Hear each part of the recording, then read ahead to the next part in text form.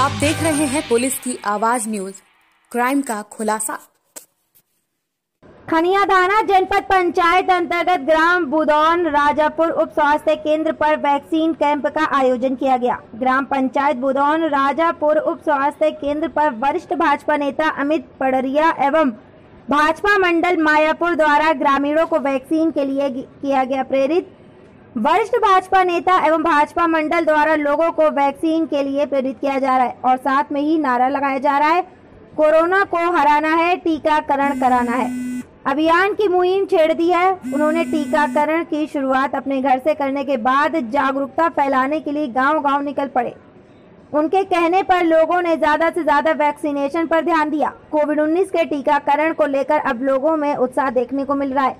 खनियाधाना जनपद पंचायत के अंतर्गत आने वाली ग्राम पंचायत बुदौन राजापुर उप स्वास्थ्य केंद्र पर देखने को मिला। भारी संख्या में लोग वैक्सीनेशन के लिए निर्धारित केंद्रों पर पहुँच रहे हैं। जिन लोगों के मन में पहले वैक्सीन को लेकर कई तरह की भ्रांतियाँ थीं, लोग डरे और सहमे हुए थे।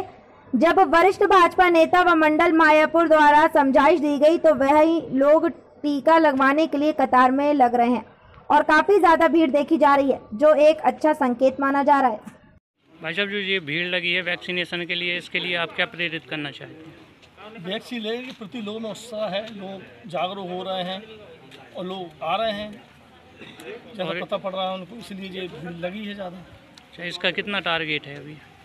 टारगेट तो लगभग आज 200 है और 200 लगने पड़ जाएँगे तीन चार बजे तक। वैसे कब तक वैक्सीनेशन पूरा पूर्ण रूप से होगा यहाँ?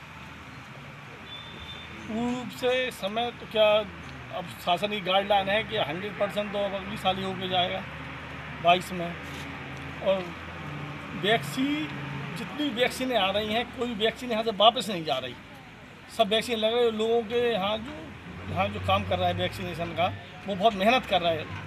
और आप ग्रामीणों को क्या संदेश देना चाहेंगे? ग्रामीण ये है कि वो लोग सब वैक्सीन लगवाएँ और अपने जो रिश्तेदार जागृत करें लोगों के प्रति कि लोगों ने जो भ्रांति पैदा कर दी थी ऐसा ऐसा होता है तो अब लोग आप सब देख रहा हो आप तो घूम के देख रहा होगे। उत्साह है कि नहीं है लोगों में पहले लोग डर डर रहे हैं। अब तो बिल्कुल भीड़ भाड़ है कि ऊपर एक चढ़ रहा है। आप बताएँ वैक्सीनेशन के बारे में। वैक्सीनेशन में हम जागरूक कर रहे हैं सभी को जा जाकर। सभी लोगों को बता रहे हैं वैक्सीन लगवाएँ। और वैक्सीन हर व्यक्ति को लगवाना चाहिए।